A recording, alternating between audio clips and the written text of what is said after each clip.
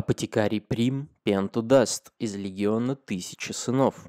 В компьютерной игре Horus Heresy Legions карта Пенту Даст встречается в любой маломальски приличной сборке Тысячи Сынов. При отсутствии точечного или внушительного по своему урону масса ремувала мы получаем почти неиссякаемый источник восстановления показателя здоровья нашего командира, а в сочетании, например, с Экротрезом и шепотом хаоса Магнуса – наш примарх становится практически неубиваемым.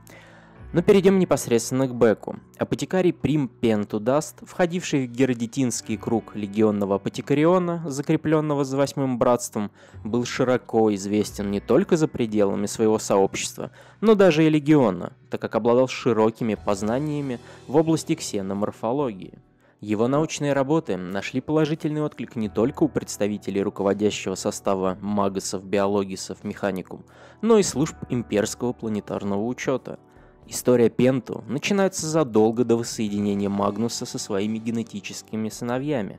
В те мрачные времена, когда изменение плоти терзало воинов Легиона, Даст вместе с другими апотекариями Прим безуспешно пытался излечить или хотя бы замедлить распространение недуга – Стоит ли говорить, что попытки не увенчались успехом?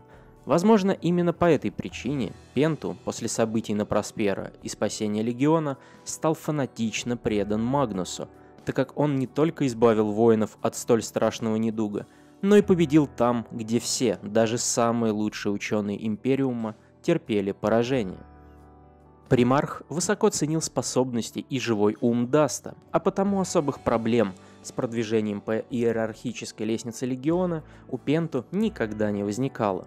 Как многие боевые братья, возвысившиеся непосредственно в Апотекарионе, Пенту Даст был участником храма Паванидов, а его выдающиеся способности Биоманта находили самую высокую оценку у командования. При этом Апотекарий был яростным противником вердикта Никейского собора, открыто высказывающим свое негодование по поводу запрета использования дара Псайкера – Неудивительно, что со временем накопленные обиды и недопонимания обернулись яростью и ненавистью. Судя по обрывочным данным, Пенту Даст оказался в авангарде защитников Проспера, принявших на себя самый первый безжалостный удар космических волков. Великолепные биомантические способности, усиливающие до запредельного уровня и без того выдающиеся физические показатели Астартес, в сочетании с высоким мастерством апотекария оказали неоценимую помощь легионерам Тысячи Сынов.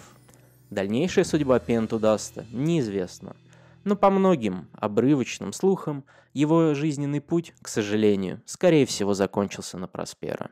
Ну а на сегодня все. До новых встреч. Пока-пока.